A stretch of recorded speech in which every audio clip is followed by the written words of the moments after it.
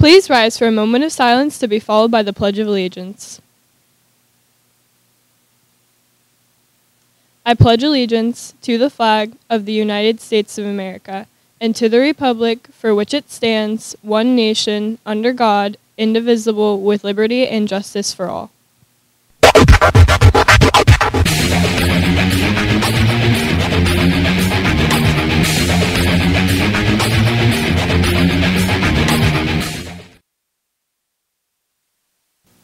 Good morning, BHS. I'm Emily. And I'm Addie, and welcome, welcome to Bash TV. Today is Wednesday, October 12th, making today the official 25th day of school and day one of the cycle.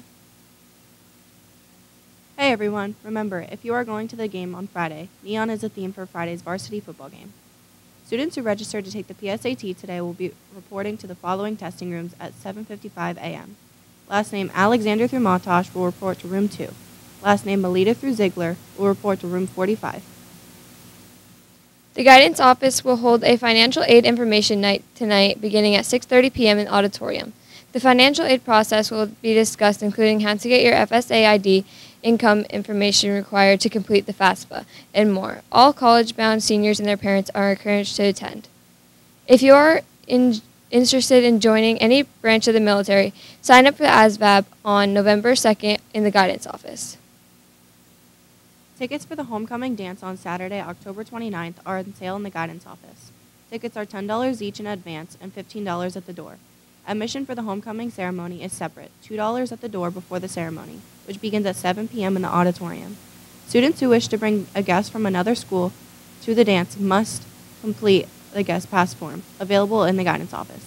Guest pass forms must have a photo ID attached and must be submitted to Mr. Bennett in the front office no later than Wednesday, October 26th. Speak of homecoming, it's Spirit Week. Spirit Week begins on Monday, October 24th, and everyone needs to participate. Monday will be America Monday. Tuesday will be Twin Tuesday. Wednesday will be Under the Water Wednesday. Thursday will be Trick or Treat Thursday. Friday will be Blue and White Bash, as well as the Fall Pep Rally. Now let's send it over to FYI.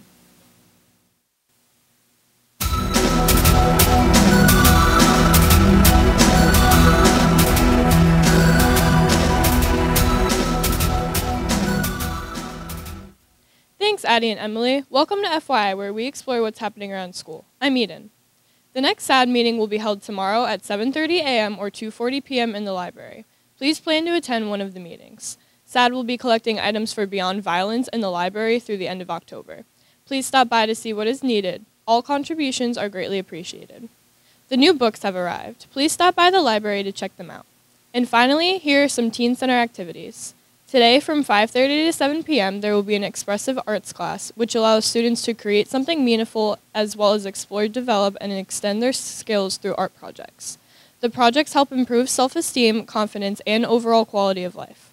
Well, that's it for FYI. Let's 7 over to sports.